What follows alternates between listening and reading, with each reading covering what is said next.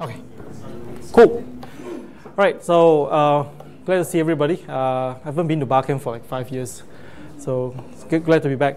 Uh, just before I start the proper proper, just want to find out who, where, who, who among you guys fly drones, um, own one, sell one. so, so this couple of you have touched the drone before. So it's been a hot topic for a few years now. I, I'm, I'm really glad that now it's like it's mainstream and it's died down.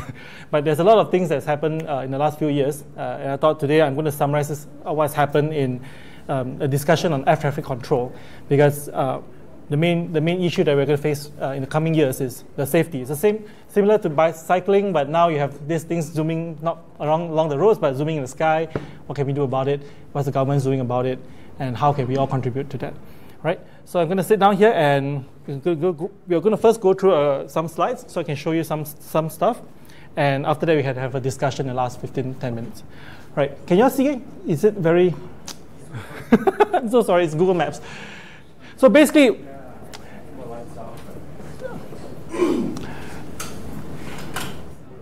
It's okay, it's okay, don't worry. I'll just talk through this. So basically today, um, if you're flying drones, I, I, don't know that you're flying drones, right? Your drones don't broadcast and don't tell basically anybody where you are, except the, basically the pilot, right?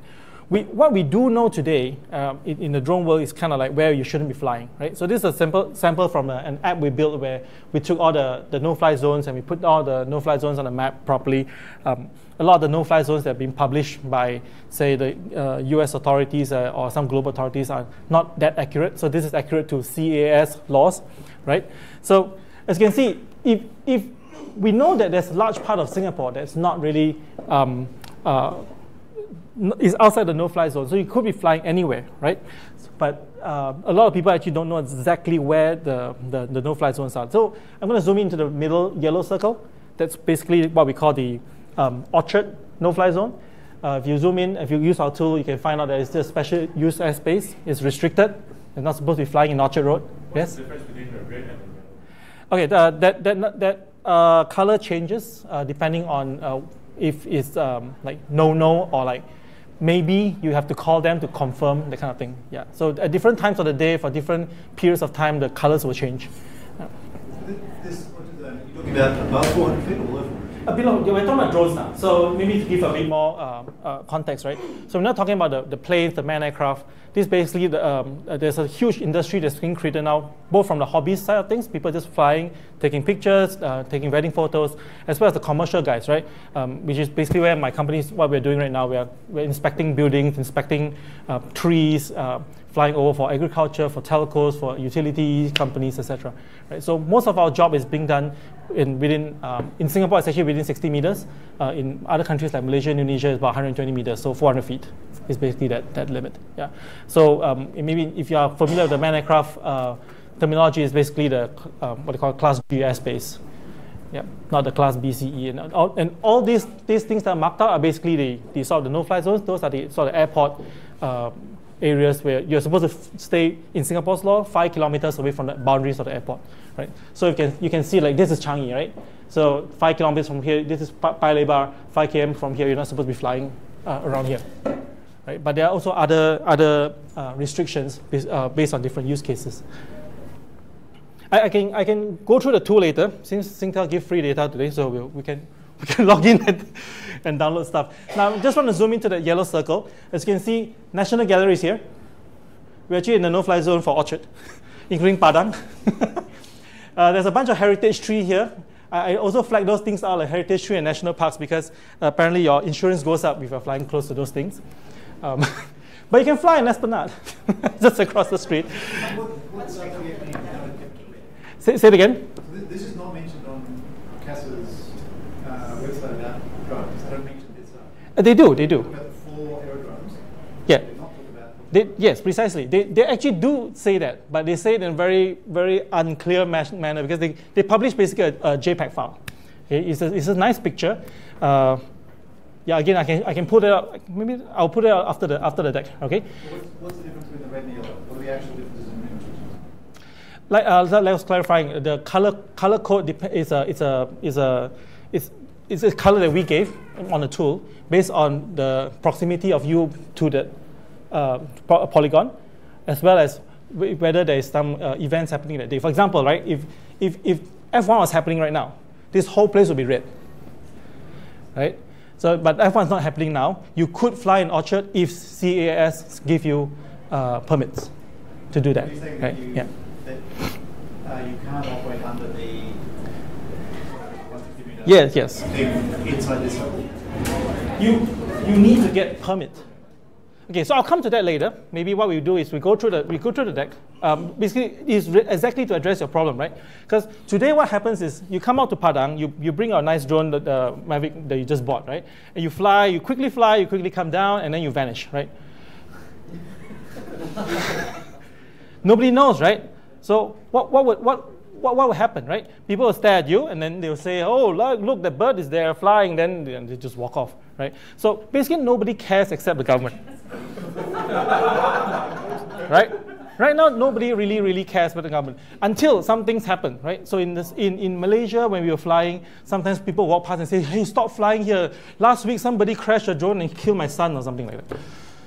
Right? And that happens. That happens. And if you read the news, you go to, I mean, if country big enough like US, every day some, some kind of mish- mishap has happened, right? And they, these guys have a big problem. Singapore is a very small and dense place. And they really want to fly, find out what, where every single thing that leaves the ground is. Right? They kind of want to know, because to them, their jurisdiction is anything that flies. Right? So they already know where all the planes are. Okay, so you're familiar with this tool called Flight Radar 24, and there are a bunch of other similar sites. How do they get this information? It's because all the planes volunteer their position, right? There's a, there's a technology basically around there, I'll come to that, right? They volunteer the information, right? And they want to know drones. So they basically want something like this, right? Where if you're flying close to Changi Airport, right, they should be flagged out because you are kind of in the aerodrome, right? Uh, and you're not supposed to be doing that. So they're still quite far from it. So today, what they do to us, because we are we're kind of like the uh, guys with the operator permit when we fly, is that they, they, they require us to apply for an activity permit. So there's a two-tier permit, permit scheme. First, you become an operator. They test you. It's like a kind of a uh, exam, the same exam you go through when you're driving a car. Right? So you get the permit that you know how to fly the drone. The drone is airworthy, and they tell a whole bunch of things you don't, you should not be doing. If you do that, you must let us know in advance. Every time we fly, we get an activity permit, and five minutes before we fly, we have to call air traffic control. Right? So um, yeah, so we know 203 Squadron very well because every time we go to work, you'll be to Squadron, we're taking off five minutes. Okay, you're clear to fly. There's no other, you know, random aircraft coming in. You have the airspace till this time. Then after that, you call them back. Okay, we've landed. Airspace back to you. So they're basically dealing with us just like how they deal with manned aircraft. Right? And it's completely manual. It's really phone calls. Right? each drone flight. Each, uh, yes. Yeah. So it is, uh, so each non-recreational drone, drone flight. So if you're just flying recreationally, you don't talk to them, but Each takeoff. each flight, yes. So each, uh, it could be uh, multiple flights grouped together as one, we- they call it an activity. So let's say we, we take a half an hour or one hour slot. We can do maybe three. For altitude, like maybe you're flying not so high, then you don't need to call. It is all purpose driven.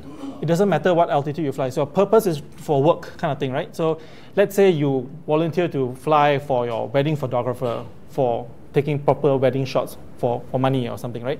So that is kind of like a job. So that's something that you need to apply for permit, right? But if you just bought a drone, just fly in, uh, in, an open field, that's okay. Yeah. Uh, we've asked them the question before. so, because originally we thought it was money, but it's not. It's, it's purpose driven. So, if you're doing for work, even if you don't receive a cent, it's for work, you kind of have to apply. Research has its own category. So, if you're part of a school doing research on drones, you have a separate category, you can apply for that. Yeah. Yeah. So, so for us, it's actually we don't mind, right? Because by doing that, what it means is that Singapore in general is safer. Because then we do know where all these drones are flying, and especially the ones who are doing for work is usually the more dangerous flights because you're usually flying over, say, um, like we sometimes fly in Tuas, in, in Jurong Island, those places where, you know, petrochemical and all these things. You want to kind of know like the, the drones that's flying there are safe, right? But what we want to do is, can we do this automatically? right? Without having to call them and have, have to all these things set up, right? So let's go back to the planes. So how planes do it today is through this technology called ADSB. Uh, again, it's too small. It's automatic dependent surveillance dash broadcast. It's a, it's a, it's a I thought it was old, but apparently it's pretty new. Right? Um, in, until the maybe early early of this century, it's still all radar. So basically, the these guys, the 2-3 Squadron, Changi Airport, ATC, etc., they're just using primary radar to look out for planes, right? Uh, everything then else is directly comms with the, the, the plane, uh, the, sorry, the pilot of the, the manned aircraft.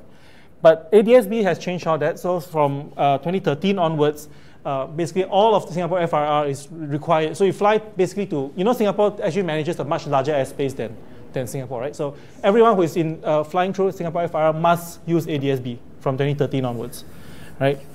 And and that's great because now uh, there's an automatic way for the plane to broadcast, and all the ATCs will know where each manned aircraft is.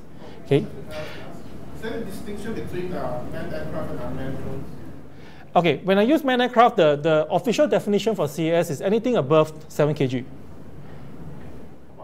So if you are even if you are a drone, like you are the, the, the drones that the US sent to Afghanistan, the Dibon, okay, those are considered under the manned aircraft kind of category, right? So they, they have a different set of rules to qualify and, and, and things like that. So for below 7 kg, we have a separate set of rules. Yeah. In some countries, it goes up to 25 kg, but usually it's, it's a weight-driven thing. Um, on the opposite end, in US right now, the FAA has just passed the law just a month or two ago, where everything above 250 grams requires registration.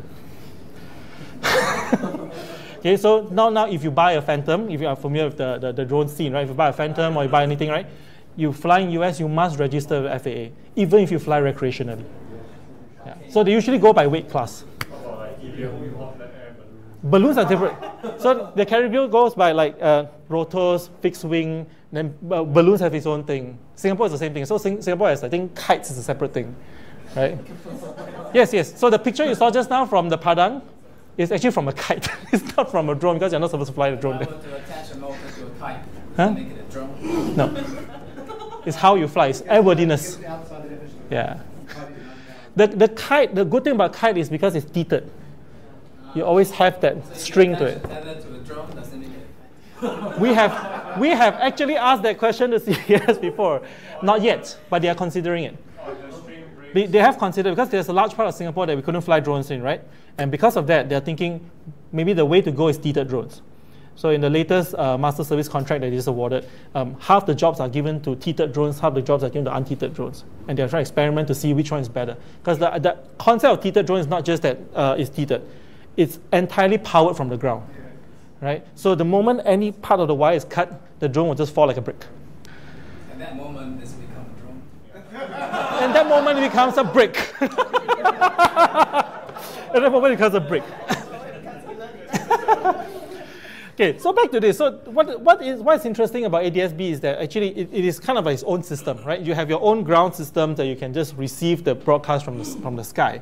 Um, it, it doesn't work very well with drones because we, we're actually too low, so the receivers are actually not, not, not in the range. What we are in range actually is LT, 4G LTE right? So a lot of the guys are actually figuring out how to connect all the drones through our typical uh, telco stuff. So we're also working on something like that. So, uh, but we haven't really went public with it yet. So I'm showing you what other people in the world has done. So AT&T, Intel, Verizon uh, has said that they have tried to connect with drones already. Uh, Nokia is doing something in the Middle East, right, where they, they are doing traffic monitoring. But the same concept is the drone will be, will be broadcasting and controlled directly through telco network. Do You looked at Sigfox Yeah.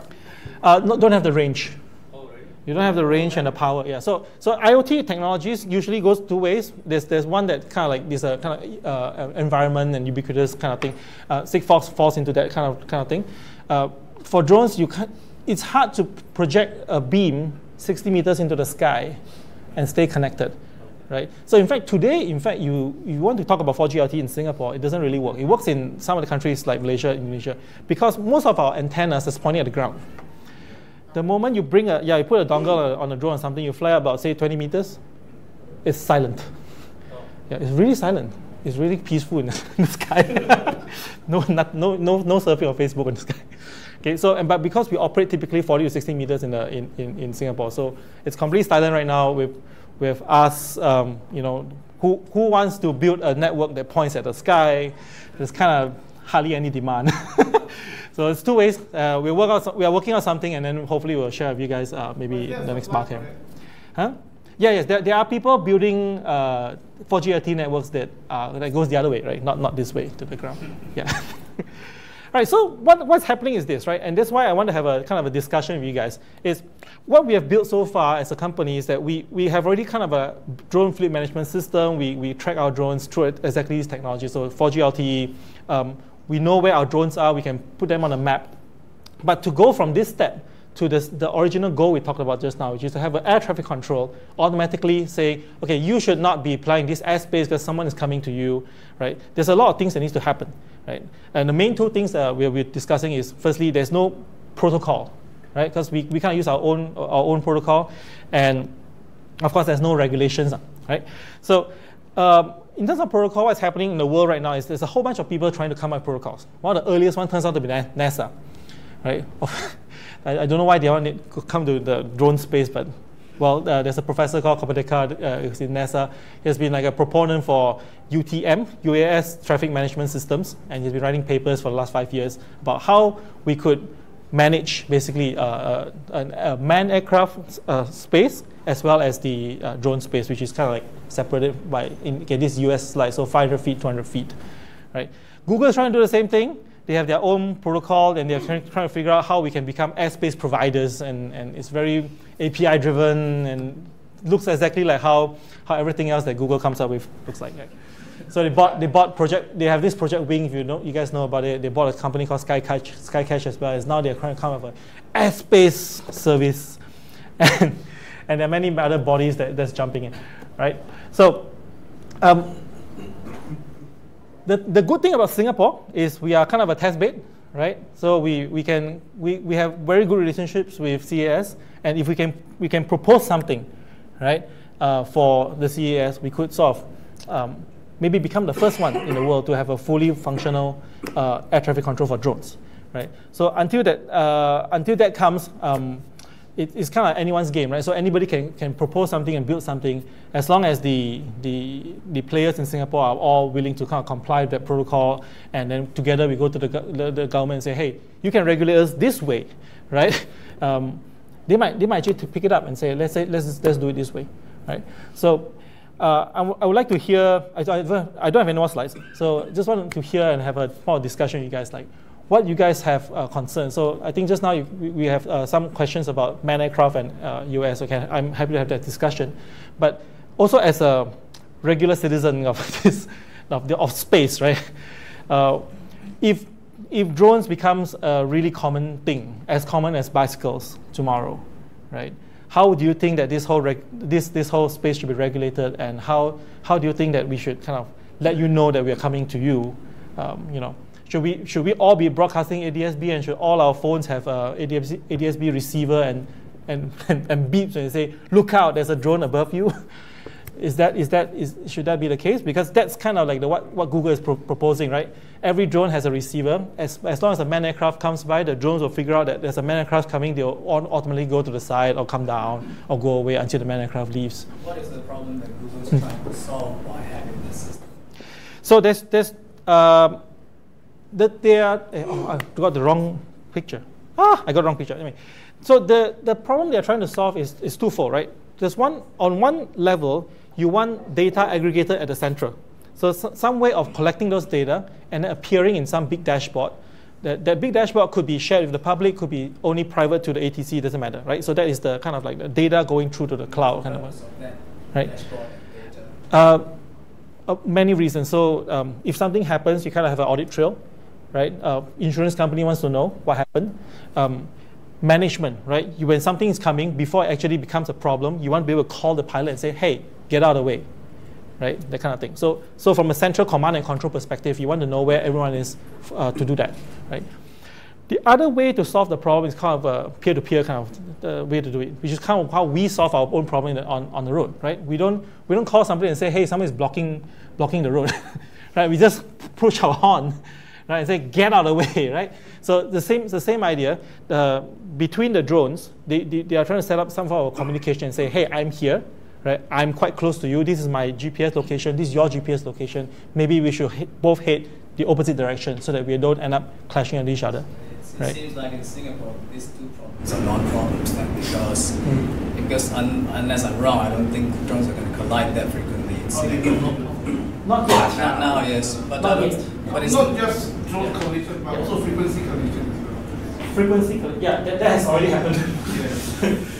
the drones, those most of most of the drones today are fly with uh, flown with your 2.4s and uh, basically your Wi-Fi range, right? So, yeah. Is there a projection in Singapore of the number of drones that are going to be flying in the sky in the next 10 years and it shows that it's going to be a major problem so that we need to regulate or start to think about it right now?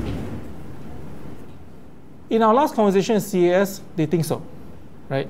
Um, we, we don't think so in that uh, because most of the things that we, we, like for example, we get a job, we have to inspect certain buildings. So that, that whole area is kind of ours, so we can manage ourselves. So if we're flying three drones at once, we can manage ourselves, right, the three drones, right? The problem comes when we have different owners and different, different actors, right? So in a, in a open field, like if you are familiar with Old Holland Road, right, this is where most of the hobbies are flying today.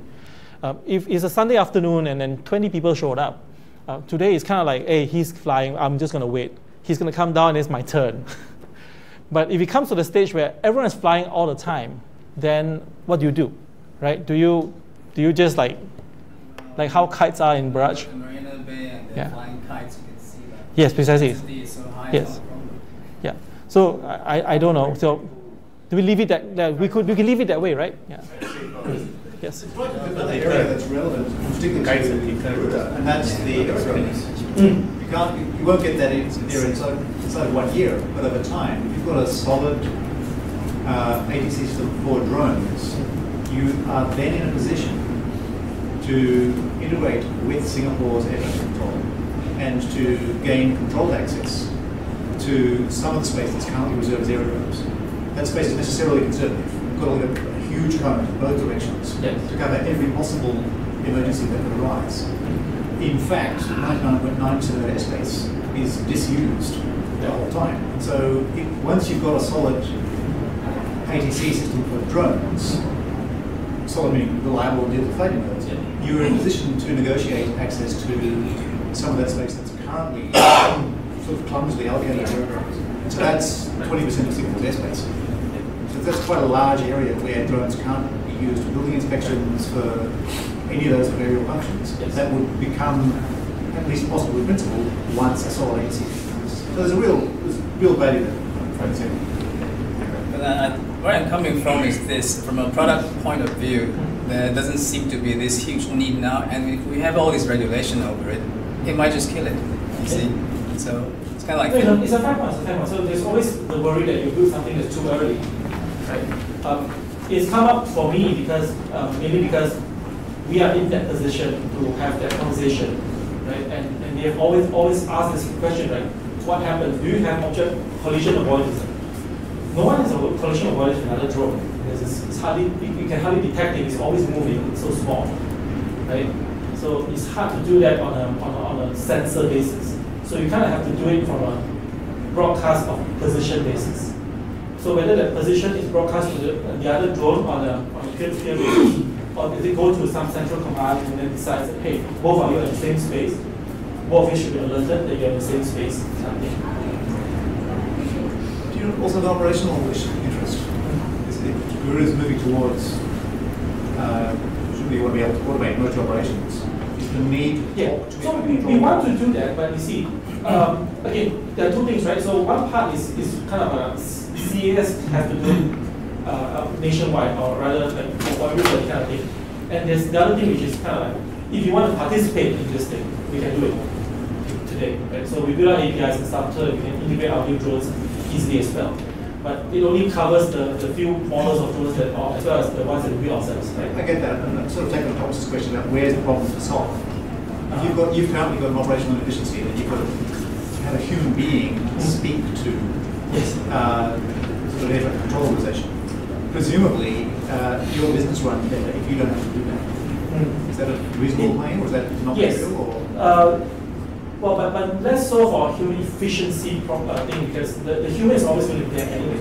Uh, the, the law still requires uh, the, the pilot to be looking at the drone. So there's always going to be a pilot, just whether he makes the call or he focuses on his flight and all this information is anyway captured.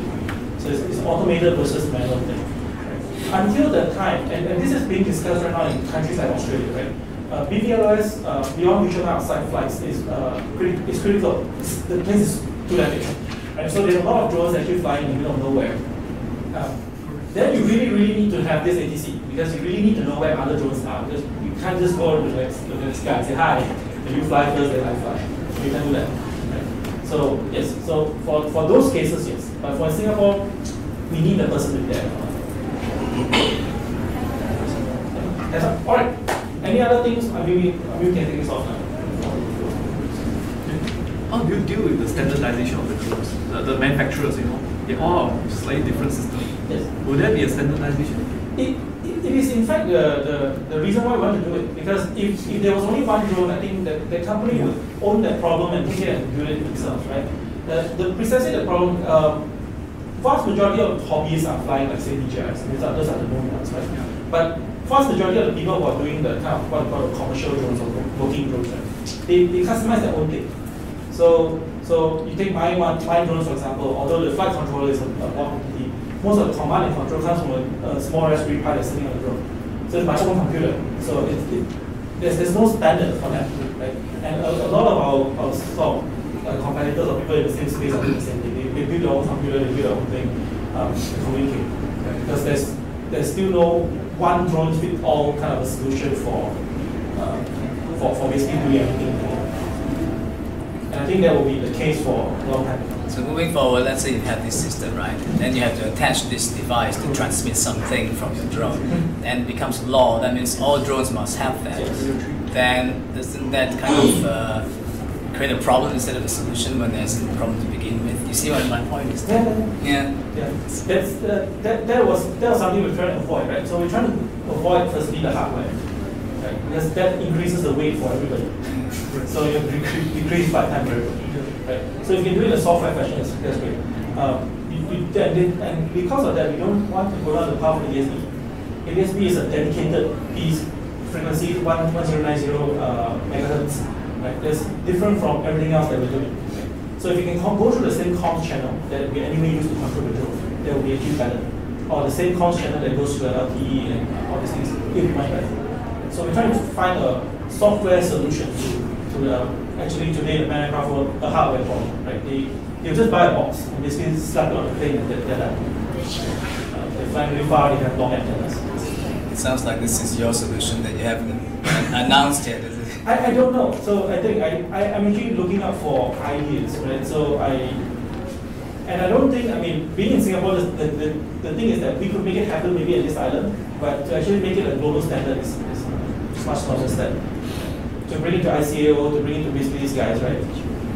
Um, uh, we, had, we, was, we sat in a forum with ICAO uh, last year, talking about exactly the same thing, and they asked us, what would you propose? And we're like, hmm, I don't know. so, so we spent a year basically cobbling together some stuff for our own selves, but then trying to see where's the next step. You have time to treat. Right? So I'm going to take more time. Thank you very much.